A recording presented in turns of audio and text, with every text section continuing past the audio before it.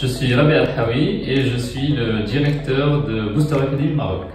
Bah, au Maroc, aujourd'hui, on a notre centre sur Casablanca, mais on déploie nos entraînements sur tout le territoire marocain. Alors, j'ai fait de la boulangerie-pâtisserie haut de gamme et de la restauration pendant une bonne vingtaine d'années. C'est de pouvoir euh, transmettre le savoir, le savoir-être, savoir-faire et surtout le savoir-oser. C'est de voir euh, et de constater la montée en compétences des académiciens.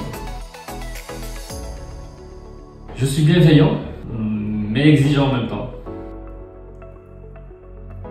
En présentiel, ça apporte plus de valeur aux académiciens. Euh, l'échange humain aussi est important. Et surtout quand on déploie nous des entraînements et euh, en présentiel, c'est meilleur.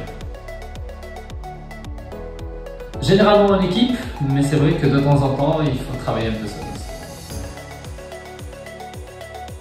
c'est de rejoindre la famille, euh, Booster Academy. C'est une belle aventure, on apprend beaucoup beaucoup de choses. C'est vrai qu'on transmet du savoir, mais on apprend également de nos académiciens, de nos clients. D'investir dans l'humain, d'investir dans leurs collaborateurs, c'est le meilleur investissement qu'ils puissent faire. Et donc avec Booster Academy, on les fait euh, monter en compétences et l'investissement est donc justifié. fait tous beaucoup d'erreurs, donc moi, naturellement, euh, ce que j'apprends surtout, c'est de ne jamais refaire la même erreur.